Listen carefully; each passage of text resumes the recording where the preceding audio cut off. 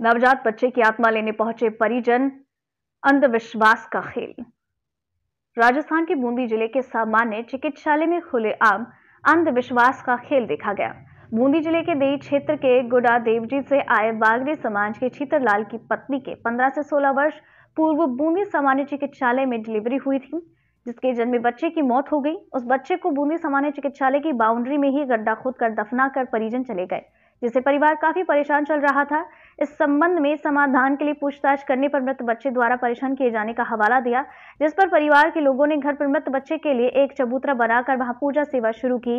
लेकिन जब परेशानी कम ना हुई तो वो आज अमावस्या पर बूंदी सामान्य चिकित्सालय में जहाँ परिजन नवजात बच्चे को दफनाकर निकले वहीं से उस बच्चे की आत्मा लेने पहुँचे। महिलाएँ ऊत जी महाराज के जयकारे लगाती और पित्तर गीत गाती नज़र आई। उन्होंने पेड़ के नीचे ऊत महाराज की तस्वीर रखकर तांत्रिक विद्या कर पूजा अर्चना की और आत्मा को एक कांच की पेटी में जलते दीपक के रूप में रखकर ले गए। परिवारजनों का कहना है कि हम इस आत्मा को वहाँ स्थापित कर बच्चे की आत्मा को शांत करेंगे ताकि हमारे घर की सुख शांति वापस लौट आए।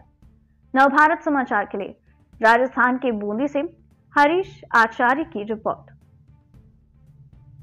हमारे घर वाले के बच्चे का पेट में बच्चा था वो यहाँ शांत हो गया था।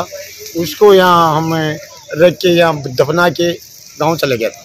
वो बच्चे हमारे को परेशान करता था तो वो बच्चे को लेने के लिए हम आए लेके उसको कुमार जी लेके जाएँगे। घर पर लाके उसका चौतरा बनाया उस पर वहाँ उसका मतलब पाटा भरवाएँगे सत्संग करवाएँगे। तो पचेरी दो पचेरी का धर्म भी करेंगे।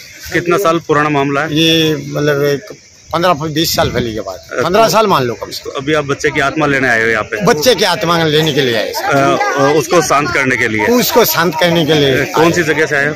बूढ़ा देव जी। अच्छा आपका क्या नाम है? चित्र है मेरा नाम सर। कौन से समाज से आप? बागड़ी समाज के सर। आपका क्या नाम है?